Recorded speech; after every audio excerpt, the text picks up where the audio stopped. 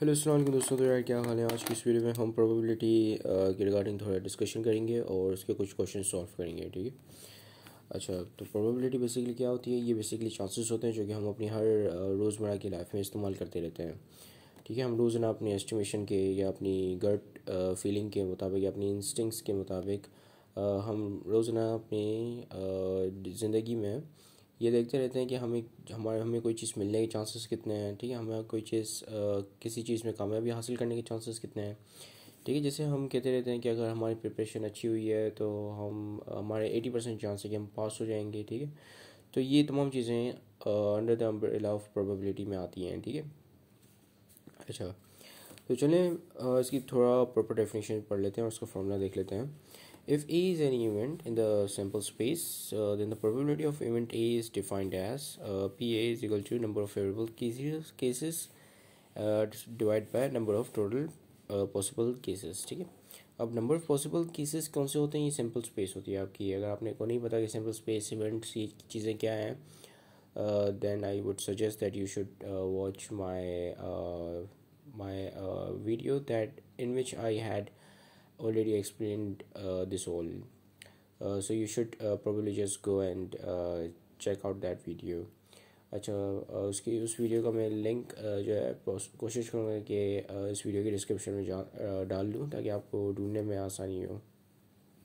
अच्छा तो अच्छा फॉर्मूला क्या होता है कि हमारे पास इवेंट है। इवेंट है कौन सा इवेंट है? ये हमारे लिए फेवरेबल केसेस हैं कि अगर हम चाह रहे हैं कि भाई इतनी ये चीज़ आ जाए तो ये हमारे हमारे लिए फेवरेबल होगा, ठीक है? सो इवेंट ए या कोई भी इवेंट बी इवेंट सी उसको हम डिवाइड कर देंगे सिंपल स्पेस तो आपके पास प्रोबेबिलिटी निकल के आ जाएगी, ठीक है? प्रोबेबिलिटी निकल के आ जाएगी मतलब कि आपके वो पता चल जाएगा कि भाई सी इसकी प्रोबेबिलिटी क्या है या इवेंट ए क्या करो होने की प्रोबेबिलिटी क्या है, ठीक है? तो यहाँ पे हमारे पास एक क्वेश्चन है जिसको सॉल्व करेंगे तो हमें थोड़ा बहुत आइडिया होगा कि क्या होती है प्रोबेबिलिटी ठीक है? अब लिखा हुआ है six sided die toss only once what is the probability of getting a an even number और अ सेवन एक डाई uh, जो वो ये है क्या कहते हैं लिडो का जो छक्का होता है तो वो अगर हमने टॉस किया मतलब uh, उसको फेंका ठीक है? तो क्या क्या आउटकम आ सकती हैं इस एक्सपेरिमेंट से ठीक है? अगर आपको नहीं पता एक्सपेरिमेंट uh, क्या होता है then I would suggest again to watch that video of pine ठीक है? अच्छा तो अब यहाँ पे हम पहले केस वन सॉल्व करते हैं। अब केस वन में कह रहा है कि हमारे क्या चांस होंगे कि हमारे इवन नंबर्स आए। तो सबसे पहले हम सैंपल स्पेस बनाते हैं। सैंपल स्पेस में कौन कौन से नंबर आएँगे?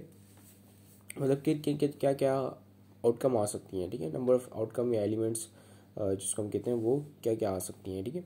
अगर मैं छक्का को मतलब हिलाकर फेंकता हूँ लीडो के बोर्ड पे या किसी भी गेम बोर्ड पे तो उससे क्या क्या आउटकम आ सकती है? वन आ सकता है टू आ सकता है ठीक है थ्री आ सकता है फोर आ सकता है और सिक्स आ सकता है क्योंकि सिक्स साइड है उसकी सिक्स से ऊपर नहीं आ सकता कुछ भी।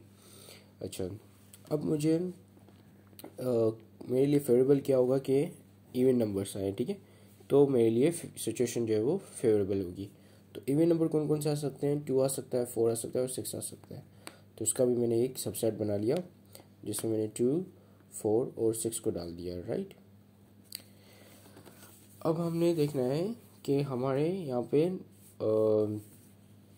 कितने एलिमेंट्स हैं ठीक है? सबसेट हमारे सिंपल स्पेस में। तो सिंपल स्पेस में one two three four one two three four five five sorry यहाँ पे मैंने फाइव नहीं डाला। फाइव भी आ सकता है ठीक है? तो मैंने यहाँ पे जो है वो one two three four five six six elements यहाँ पे मौजूद हैं, जबकि यहाँ पे थ्री एलिमेंट्स हैं, ठीक है? तो अब मैं क्या करूँगा? इस फॉर्मूले का इस्तेमाल करूँगा, ठीक है? फॉर्मूला क्या कहता है कि हमारा इवेंट ए को हमने डिवाइड करना है हमारे सिंपल स्पेस से। तो ये मेरा इवेंट ए है और इवेंट ए में जो है मेरे पास कितने एलिमेंट्स हैं? One two three three elements हैं, ठीक है? So P probability of A is equal to three divide by six ठीक है? अगर हम उसको थ्री से थ्री को सिक्स से डिवाइड करें तो कितना बनेगा? थ्री वन से थ्री टी थ्री टू से six so one over two ठीक है? सो हमारी पी ए निकल के क्या आ गई? वन ओवर टू यानी कि फिफ्टी परसेंट चांसेस है कि मेरे इवन नंबर्स आए, ठीक है? इवन नंबर्स आने के मेरे चांसेस फिफ्टी परसेंट हैं। तो ये प्रोबेबिलिटी बेसिकली ये चीज़ बता रही होती है आपको। अब आ रहा है ई अ सेवन ठीक है? यानी कि मैंने, अगर मैं उस गोटी को या उस छक्के को हिलाकर फेंकूँ तो मेरा जो है सेवन नंबर आना चाहिए ठीक है? अब वो छक्के में जो है one two three four five six number तक ही है ठीक है? तो सेवन नंबर कहाँ से आएगा? ठीक है ये एक आ, बड़ा क्वेश्चन है तो बेसिकली सेवन नंबर आ ही नहीं सकता क्योंकि सिर्फ़ नंबर सिर्फ़ सिक्स तक है।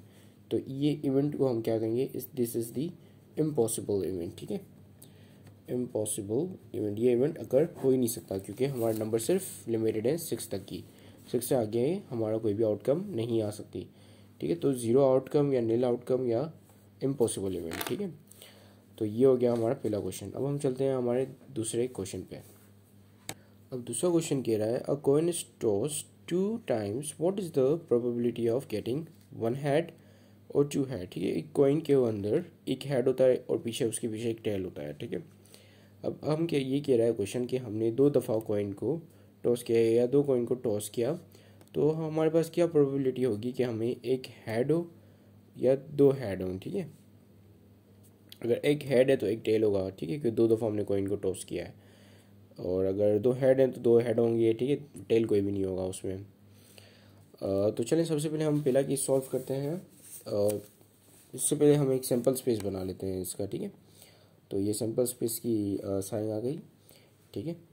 और ये ब्रैकेट ओपन कर लिया मैंने। तो दो कोइन टॉस हुए तो दो कोइन टॉस होने पर आ, मुझे मेरे पास दो हेड आ सकते हैं ठीक है?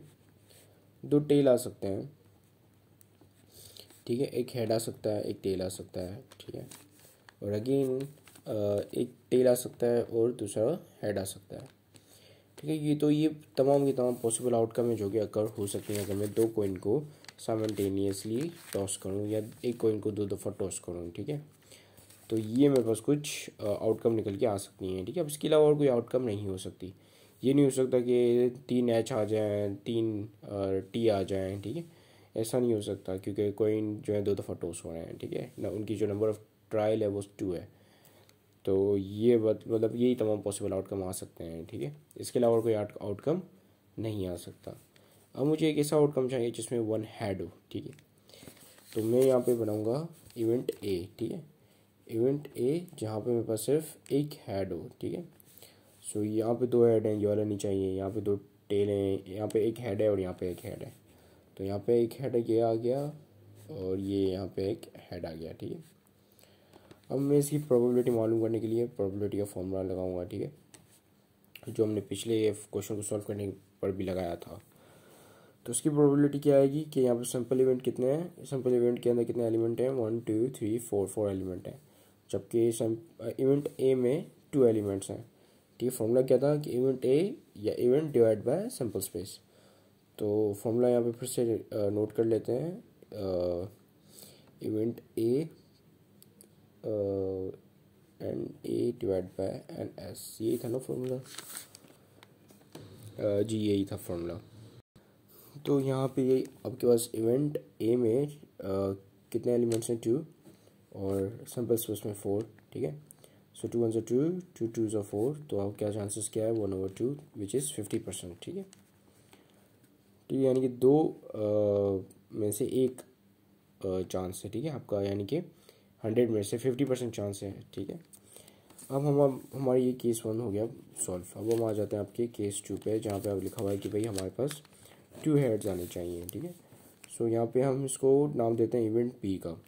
अब इवेंट बी में मुझे टू हेड्स चाहिए तो ये आ सकता है मेरे पास और बस यही आ सकता है। इसके अलावा कुछ नहीं आ सकता जहाँ पे मेरे पास टू हेड्स हों। सो यहाँ पे आपके पास सिर्फ़ यही है, एक ही एलिमेंट है, ठीक है? और उसको भी हम इसी तरीके से ही फॉर्मूला लगा के करेंगे पी बी यानी probability of B is equal to one divide by four ठीक है? So one divide by four हो नहीं सकता तो यही आपका आंसर हो जाएगा, ठीक है?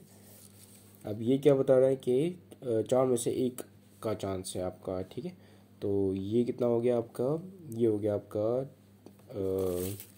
अगर हंड्रेड परसेंट में से लें या इसको परसेंट में कन्वर्ट करें तो उसके लिए हम कैलकुलेटर का इस्तेमाल कर सकते हैं इसको परसेंटेज में कन्वर्ट करने के लिए, ठीक है?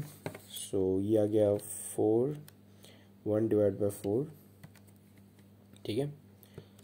ये ज़ीरो पॉइंट ट्वेंटी फाइव इसको मल्टीप्लाई कर देंगे वन हंड्रेड से।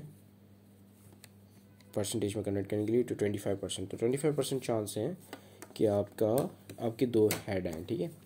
सो ये आपने हम, हम अपना चांस कैलकुलेट कर लिया यहाँ पर ठीक है? कि ट्वेंटी फाइव परसेंट आपके चांस हैं कि आपका वन आपके दो हेड हैं सो अब एक और क्वेश्चन है आपके पास यहाँ पे इसको भी करते हैं। अब इसमें लिखा गया pair of die is rolled once ठीक है? एक डाई को pair of die sorry pair of die में दो डाई होते हैं ठीक है? दोनों डाई को जब हमने रोल किया एक दफ़ा ठीक है? So what is the probability of getting a total of six अब पहले हम सैंपल स्पेस बना लेते हैं इसका।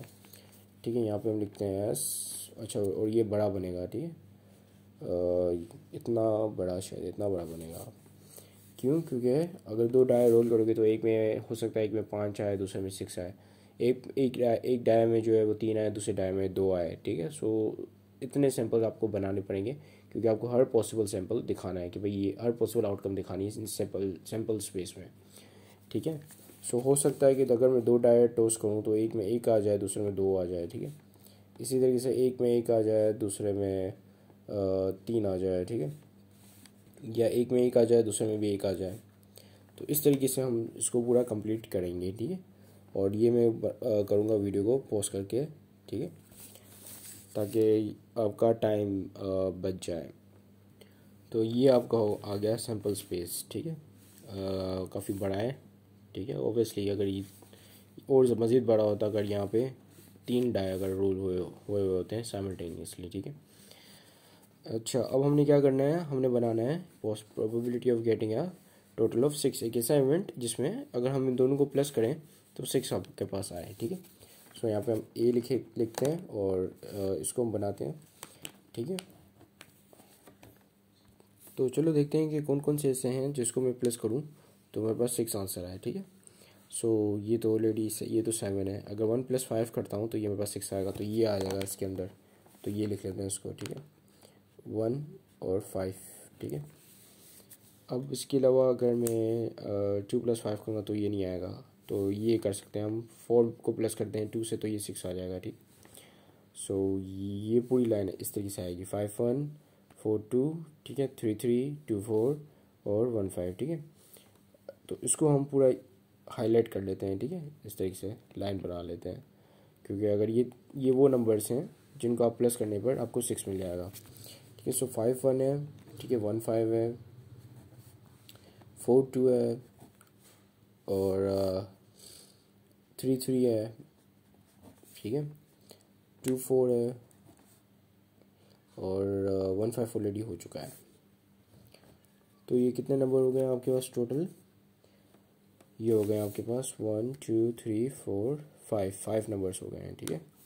सिंपल स्पेस कितने, कितनों का है? One two three four five six और इसी तरीके से यहाँ पे भी आपके पास है one two three four five six तो ये टोटल हो जाएँगे six nine twelve thirteen fourteen fifteen sixteen seventeen eighteen nineteen twenty twenty one twenty two twenty three twenty four और twenty five twenty six twenty seven twenty eight twenty nine thirty तो ये पूरे हैं आपके पास thirty हैं यहाँ पे, ठीक है?